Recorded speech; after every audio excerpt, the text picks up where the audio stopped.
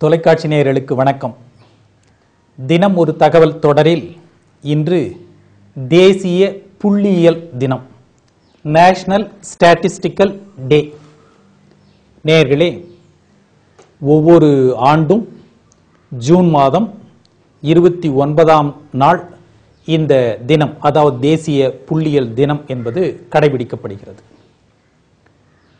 தேசிய நிறுவனங்களில் national institutes அப்படின்னு பார்க்கும்போது அதில் ஒரு பேரும் புகழும் பெற்றது இந்திய புள்ளியியல் நிறுவனம் ஆங்கிலத்தில் இந்தியன் ஸ்டாட்டிஸ்டிக்கல் இன்ஸ்டியூட் என்பது. இது கொல்கத்தாவில் அன்றைய கல்கத்தாவில் ஆயிரத்தி தொள்ளாயிரத்தி முப்பத்தி ஒன்றாம் ஆண்டு நிறுவப்பட்டது.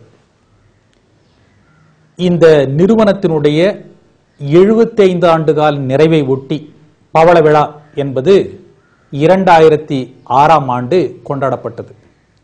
ஆக அந்த மாபெரும் நிறுவனத்தினுடைய நினைவை கொண்டாடும் வகையில் 75 ஐந்து ஆண்டுகள் கடந்து இரண்டாயிரத்தி ஏழு இரண்டாயிரத்தி ஆறில் அந்த எழுபத்தி ஐந்தாம் ஆண்டு கொண்டாடப்பட்ட போது இரண்டாயிரத்தி ஏழாம் ஆண்டு முதல் ஒவ்வொரு வருடமும் ஜூன் மாதம் இருபத்தி ஒன்பதாம் நாள் இந்த தேசியல் தேசிய புள்ளியியல் தினம் என்பது கடைபிடிக்கப்படும் என்று இந்திய அரசு அறிவித்தது.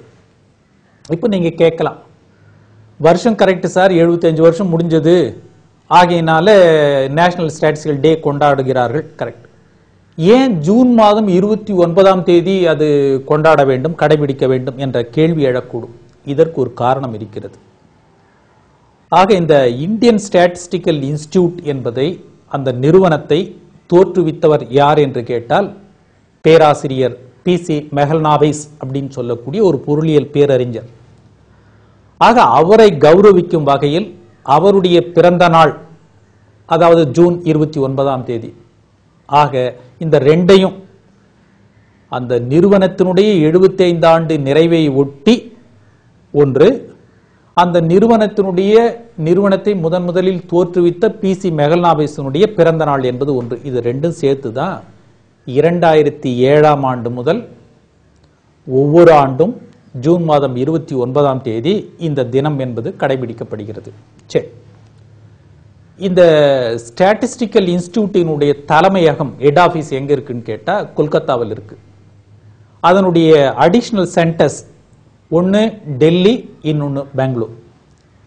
ஆக இந்த இன்ஸ்டிடியூட்டினுடைய மெயினான வேலை என்ன என்று பார்த்தால் புள்ளியியல் மற்றும் அது தொடர்பான துறைகளில் ஆய்வுகளை மேற்கொள்வது இதனுடைய முக்கியமான பணி. இதனுடைய அலுவலங்கள் ஆபீசஸ் பார்த்துன்னு சொன்னால் நிறைய நகரங்கள்ல இருக்கு. இந்த பிசி மெகல்நாபீஸ் என்றவர் யார் அப்படின்னு கேட்கும்போது நீங்க கேள்விப்பட்டிருப்பீங்க ஃபைவ் இயர் பிளான்ஸ் ஐந்தாண்டு திட்டங்கள் அப்படின்னு சொல்லிட்டு.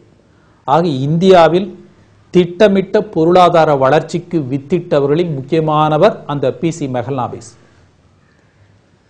இரண்டாவது ஐந்தாண்டு திட்டம் செகண்ட் ஃபைவ் இயர் பிளான் அந்த செகண்ட் ஃபைவ் இயர் பிளானுக்கு ஒரு முன்மாதிரி மாடல்னு சொல்லுவாங்க. அந்த மாடலை உருவாக்கியவர் அவர்தான். திட்டத்தினுடைய முன்மாதிரி பொறுப்பை அன்றைய பிரதமர் பண்டிட் ஜவஹர்லால் நேரு அவர்கள் மெகல்நாபிஸ் அவர்களிடம் ஒப்படைத்தார். அப்போது மெகல்நாபிஸ் பிரதமருடைய புள்ளி விவர ஆலோசகராக இருந்து வந்திருக்கிறார்.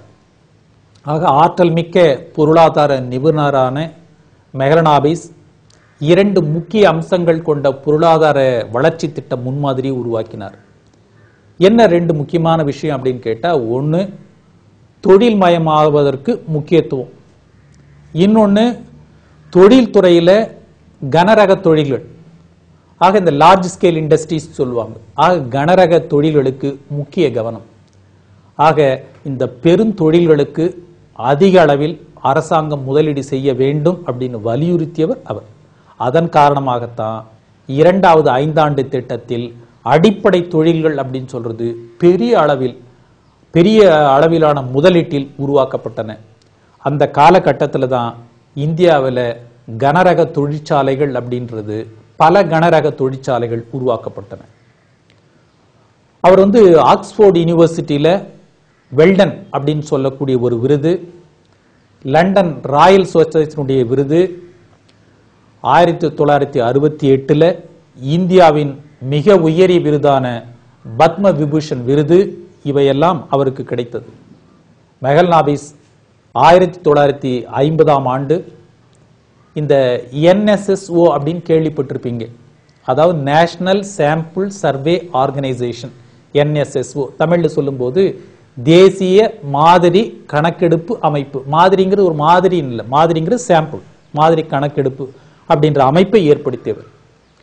புள்ளி விவர பணிகளை வந்து ஒருங்கிணைக்கும் பணியில் உச்ச நிலையில் விளங்கக்கூடிய ஒரு அமைப்பு என்னன்னு கேட்டீங்கன்னா சிஎஸ்ஓ அப்படின்னு சொல்லுவாங்க. சென்ட்ரல் ஸ்டாட்டிஸ்டிக்கல் ஆர்கனைசேஷன் சுருக்கமாக சொல்றது அந்த சிஎஸ்ஓ அது சொன்னாலே புரிஞ்சுக்குவாங்க. தமிழில் மத்திய புள்ளி விவர அமைப்பு. இது தோன்றுவதற்கும் யார் யார் காரணமாக இருந்திருக்கிறார் என்று பார்த்தால் மெகல் நாபிஸ் காரணமாக இருந்திருக்கிறார்.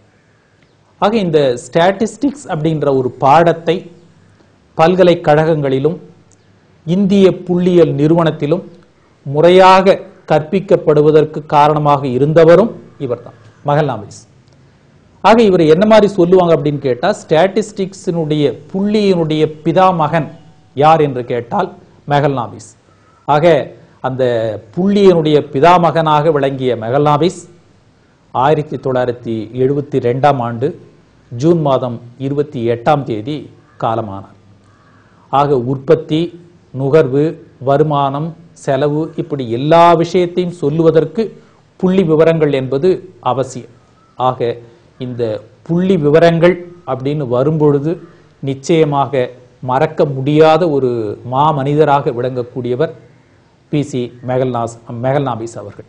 மகத்தான இந்த துறையினுடைய பணிகளை செம்மைப்படுத்த நெறிப்படுத்த வரலாற்று புகழ்பெற்ற இந்திய புள்ளி அந்த இந்திய புள்ளியியல் நிறுவனம் இந்தியன் ஸ்டாட்டிஸ்டிக்கல் இன்ஸ்டியூட் என்பது கலங்கரை விளக்காக நின்று என்றைக்கும் வழிகாட்டும். மீண்டும் நாளை சந்திப்போம்.